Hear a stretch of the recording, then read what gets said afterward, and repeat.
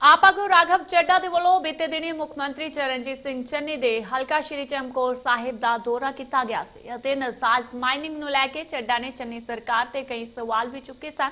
ਇਸੇ ਨੂੰ ਲੈ ਕੇ ਹੁਣ ਮੁੱਖ ਮੰਤਰੀ ਚੰਨੀ ਨੇ ਰੋਪੜ ਦੇ ਸਤਲੁਜ ਦਰਿਆ 'ਚ ਪੈਂਦੇ ਰੇਤੇ ਦੀ ਖੱਡ ਦਾ ਮੁਆਇਨਾ ਕੀਤਾ ਅਤੇ ਕਿਹਾ ਕਿ ਸਭ ਕੁਝ ਠੀਕ ਹੈ, ਕਿਸੇ ਵੀ ਕਿਸਮ ਦੀ ਨਜਾਇਜ਼ ਮਾਈਨਿੰਗ ਨਹੀਂ ਹੋ ਰਹੀ।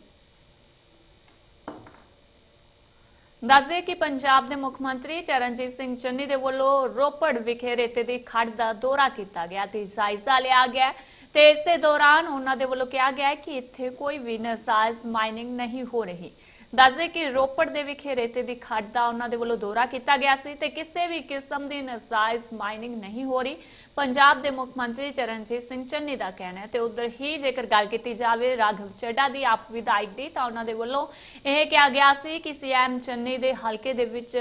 ਜੋ ਨਜਾਇਜ਼ ਮਾਈਨਿੰਗ ਹੈ ਉਹ ਹੋ ਰਹੀ ਹੈ, ਪਰ ਉਧਰ ਹੀ ਰੋਪੜ ਦੇ ਵਿਖੇ ਰੇਤੇ ਦੀ ਖੱਡ ਦਾ, ਪੰਜਾਬ ਦੇ ਮੁੱਖ ਮੰਤਰੀ ਚਰਨਜੀਤ ਸਿੰਘ ਚੰਨੀ ਦੇ ਵੱਲੋਂ ਦੌਰਾ ਕੀਤਾ ਗਿਆ ਸੀ ਅਤੇ ਦੌਰੇ ਦੌਰਾਨ ਉਹਨਾਂ ਨੇ ਕਿਹਾ ਹੈ ਕਿ ਕਿਸੇ ਵੀ ਕਿਸਮ ਦੀ ਨਜਾਇਜ਼ ਮਾਈਨਿੰਗ ਨਹੀਂ ਹੋ ਰਹੀ।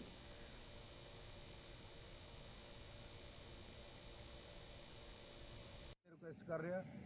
ਕਿ ਆਪਣੇ ਬਾਹਰ ਤੋਂ ਜਿਹੜੇ ਬੰਦੇ ਆ ਕੇ ਤੁਹਾਨੂੰ ਡਿਕਟੇਟ ਕਰਦੇ ਆ, ਇਹਨਾਂ ਨੂੰ ਰੋਕੋ, ਨਹੀਂ ਤਾਂ ਅਸੀਂ ਬਾਹਰੋਂ ਆਏ ਬੰਦੇ ਤੇ ਕਾਰਵਾਈ ਕਰਾਂਗੇ ਜਿਹੜੇ ਨਜਾਇਜ਼ ਇੱਥੇ ਵੜਨਗੇ। ਇੱਥੇ ਆ ਕੇ ਪੰਜਾਬ ਦਾ ਮਾਹੌਲ ਖਤਮ ਖਰਾਬ ਕਰਨ ਦੀ ਕੋਸ਼ਿਸ਼ ਨਾ ਕਰਨ। ਬਹੁਤ ਅੱਛਾ ਹੈ, ਅਸੀਂ ਸਹੀ ਤਰੀਕੇ ਦੇ ਨਾਲ ਆਪਣਾ ਕੰਮ ਕਰ ਰਹੇ ਹਾਂ। ਫਿਰ ਵੀ ਮੈਂ ਜਿਹੜੇ ਸਾਡੇ ਇੱਥੋਂ ਦੇ ਨੌਜਵਾਨ ਹੈ ਇੱਥੋਂ ਦੇ ਕੋਈ ਆਮ ਆਦਮੀ ਪਾਰਟੀ 'ਚ ਹੈ ਇੱਥੋਂ ਦਾ ਕੋਈ ਲੀਡਰ ਹੈ ਆਮ ਆਦਮੀ ਪਾਰਟੀ ਦਾ